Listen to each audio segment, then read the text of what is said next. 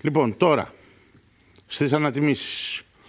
Ήδη έχουν καταλόγους προπασχαλινούς στα σούπερ μάρκετ με ανατιμήσεις Με ανατιμήσεις. κυρίως στα γαλακτοκομικά, τυριά, γάλατα, Μπορείς να γιαούρτι. κάτι, βρε Νίκο μου.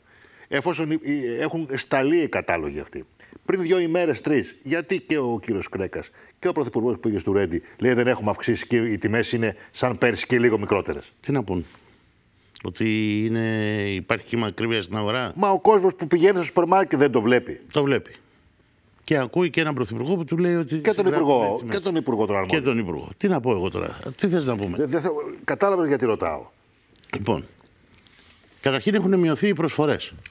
Το δεύτερο είναι αυτό. Το δεύτερο είναι 40-50% που Θυμάσαι έβλεπες. το λέγαμε αυτό θα ξεκίνησε. Ναι, ναι, ότι θα είναι εις βάρος τους καταναλωτή. Ναι, γιατί θα μειωθούν, οι- μειώνουν τις προσφορές του σούπερ μάρκετ. Το Ναι. 1 συν 1, το 2 συν 1, όλα αυτά έχουν μειωθεί όλα. Ναι, σχεδόν, σχεδόν φεύγουν σιγά σιγά. Ναι. Όχι σχεδόν, έχουν φύγει.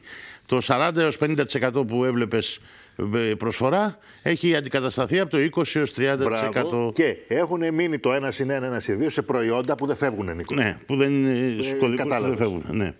Τώρα, από την έρευνα του Ινστιτούτου Έρευνας Λιανεμπορίου Καταναλωτών, καταναλωτικών- καταναλωτικών αγαθών, συγγνώμη, ε, προκύπτουν τα εξής.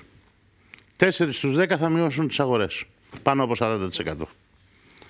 Ένα στα δύο νοικοκυριά, αυτό που είπες στους τίτλους, θα φτιάξει γλυκά μόνο του στο σπίτι, ενώ πέρσι αυτό το ποσοστό ήταν 4 στους 10. Είναι τελείως διαφορετικό. Γιατί και οι τιμές στα γλυκά έχουν ανέβει πάρα πολύ. Ναι, και- και στις πρώτες ύλες.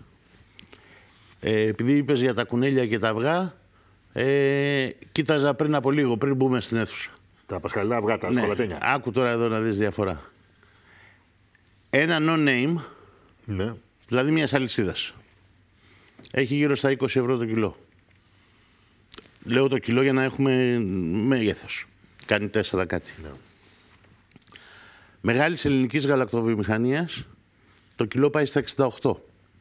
Τόση διαφορά έχουν. και μεγάλη ξένης γαλακτοβιομηχανίας που εισάγει προϊόντα τα οποία είναι ιδιαίτερα δημοφιλής στα παιδιά, πάει στα 80 ευρώ το κιλό. Λοιπόν, βρες εσύ πόσο θα είναι το πασχαλινό αυγό. Το πήγα να σε πόσο ρωτήσω. Ένα πάνω. πασχαλινό ρε παιδί με αυτό το, το κορατένιο, ένα κουνελάκι, τέτοιο προβατάκι. No name μπορεί να το πάρεις γύρω στα 4 με 5 ευρώ. Αν γίνει επώνυμο, γράψε 15 plus. 15 πλάσ. 20. Ένα αυγό. Μιλάμε για πάρα πολλά λεφτά. Ένα μεροκάματο. Ένα μεροκάματο για κάποιον που σκολατένιο δουλεύει. αυγό. Ένα, ένα μεροκάματο, ναι. Εντάξει, είναι πάρα πολλά. κάποιον που παίρνει το βασικό μισθό. Λοιπόν, και α, όπως το είπες και εσύ, είναι εντυπωσιακό πώς μειώνεται η κατανάλωση κρέατος. Ένας στους τρεις θα δηλώνει ότι θα σου λύσει. Και αυτό το ποσοστό πριν από τέσσερα χρόνια, πέντε χρόνια, Το 19. ήταν, το 19, ήταν 68%, ήταν δύο, δύο, Κάθε αυλή σου βλίζανε, βρε Νίκο μου. Τα, τα, τα θυμόμαστε και τα, τα, τα, τα ζούμε. Τα, τα, Και φαίνεται. Ξέρουμε.